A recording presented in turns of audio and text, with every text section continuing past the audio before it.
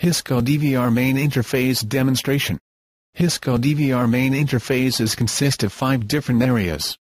Live Image Display Area, Camera and Display Mode Area, Control Panel, Operation and Configuration Panel, and DVR Status Monitor.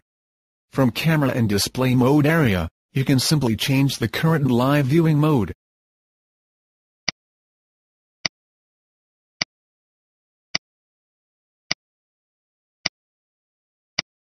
From Control Panel, you can set current display view to full screen by pressing full button. Click on left mouse click to go back to interface. In single to 25 view screen, you can press auto button to switch the camera view sequentially. Color button lets you adjust recording image. You can bring up the PTZ controller if you have PTZ camera configured. In DVR Status Monitor, you can see recording status and remote connection status. Click on Remote Connection Status button to see connected client information. The operation panel is password protected area.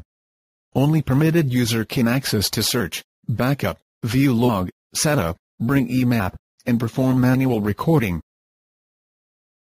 Thank you for watching.